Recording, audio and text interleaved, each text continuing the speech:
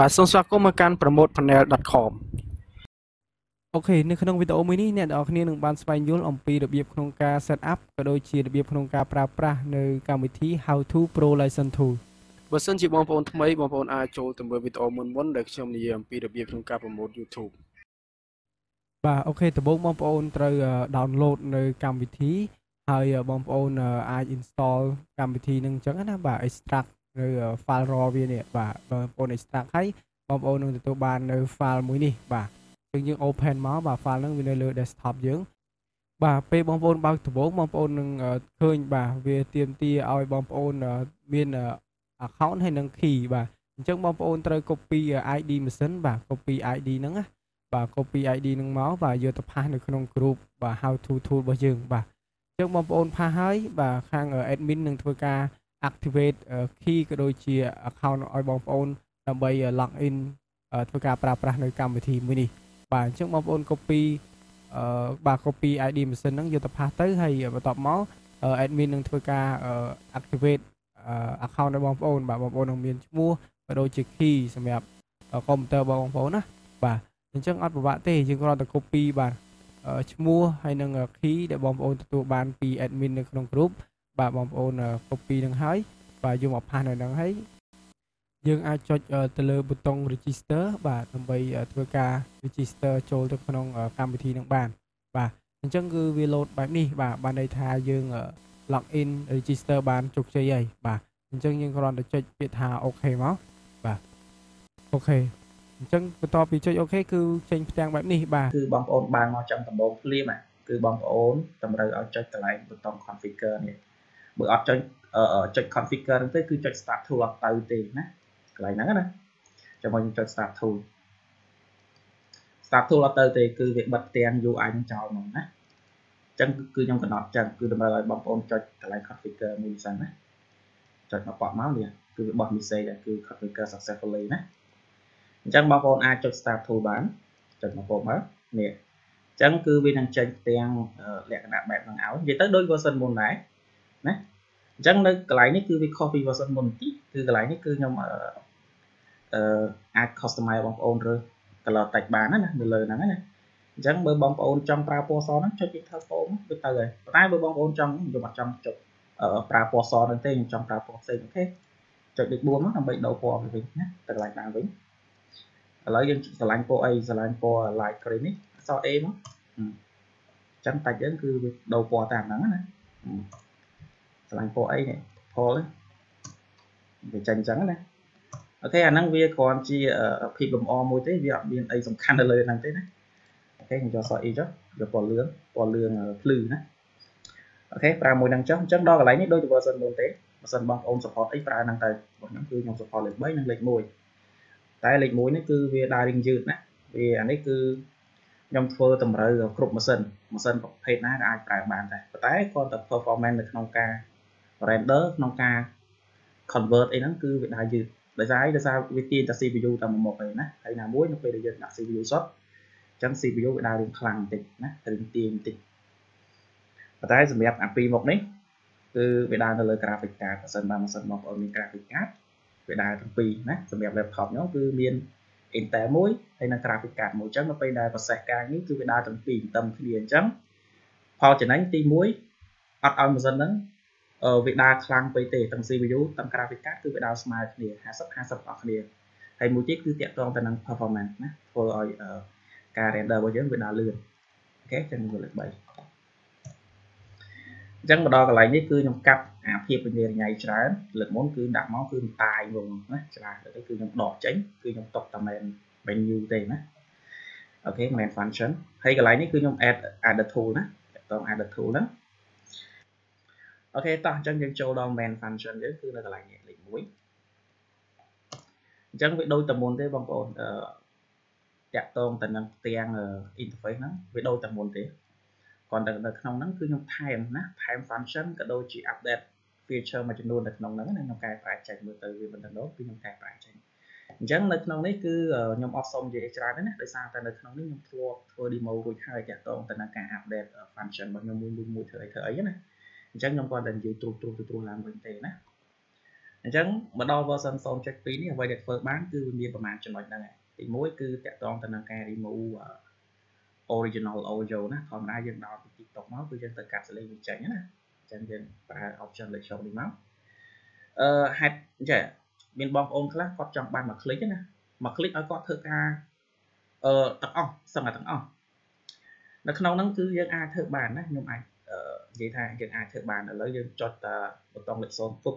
អទី1ឲ្យវា remove remove ហើយឲ្យវាតម្លើង speed តម្លាក់ speed អបន្តពីតម្លាក់ហើយឲ្យវា merge ចូលគ្នា merge ហើយហើយឲ្យដាក់សលេងចូលហើយដាក់ intro ដាក់អីចឹងណាយើងអាចធ្វើបានយើងចុចតែមួយពឹកយើងអាចធ្វើបានប៉ុន្តែខ្ញុំគិតថាបងប្អូនខ្លះគាត់អត់ចង់បានអញ្ចឹងទេណាគាត់អត់ចង់បានអញ្ចឹងអត់ចង់បានយ៉ាងម៉េចថានៅពេលដែលគាត់ remove audio ហើយ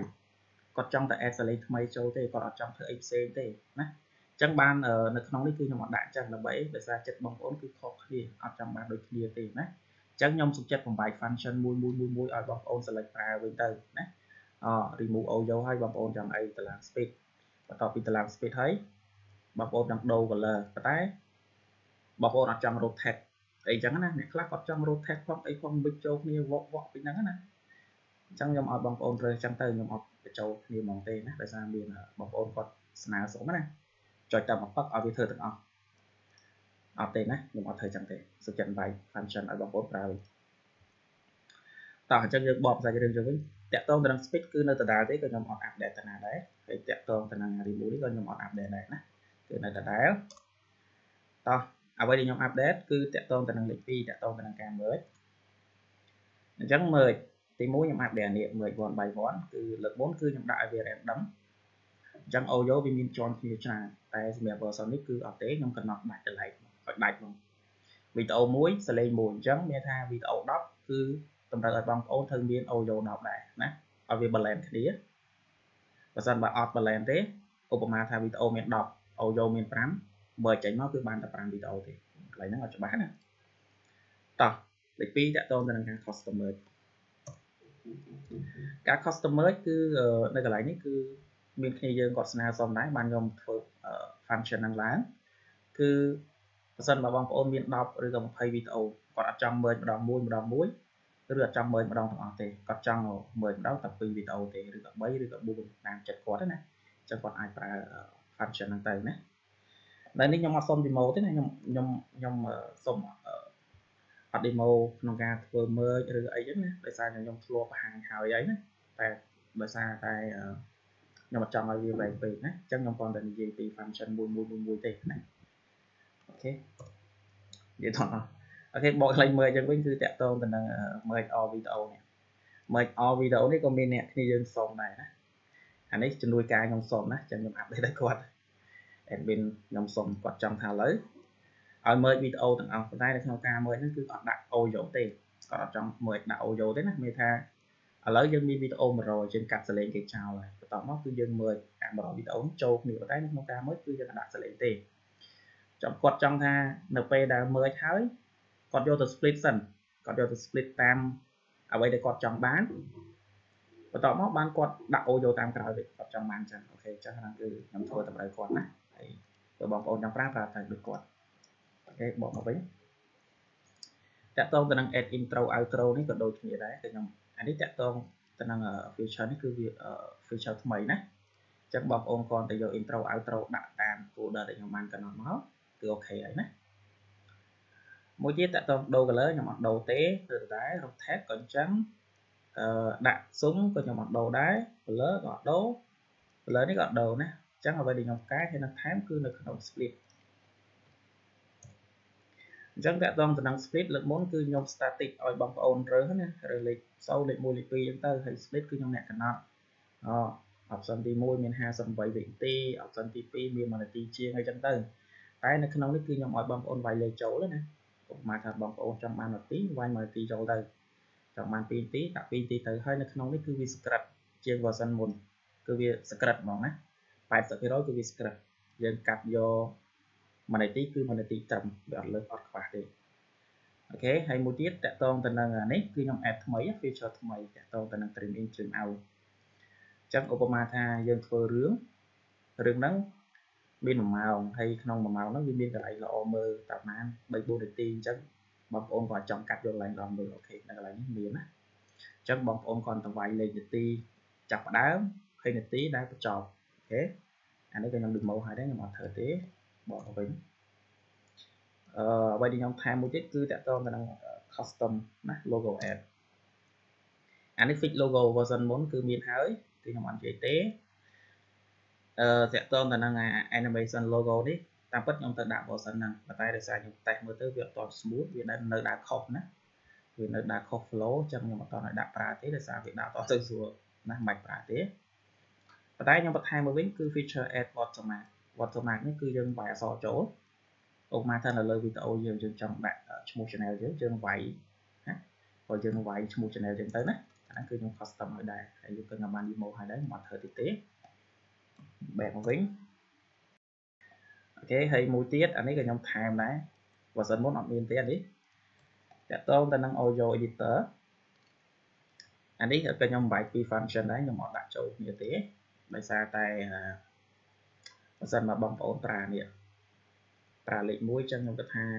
តាក់ទងទៅនឹងការ volume up ឬក៏ volume down ទៅលើ original audio ហ្នឹងខ្ញុំគិតថាมันចាំបាច់ទេណា